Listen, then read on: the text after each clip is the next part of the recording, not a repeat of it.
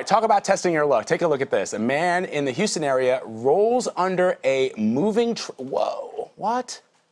A moving train repeatedly as the freight train moves across a level crossing. He's waiting for a gap between the sets of wheels before rolling in between.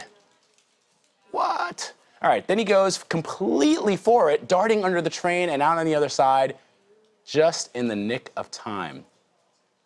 People will do nutty things. Stupid. Right? That's, I mean, it, okay. That's so scary. What's, and we're, and we're, and we're, he was sober? No, no way. No, right? I don't know. We don't, we, we don't know, but man, why would you do it? No evidence that he wasn't, but why would you do that? No evidence that he was either. right, exactly. Ryan, our floor manager, saying no evidence that he was either. We don't know. We don't know, but that video is crazy.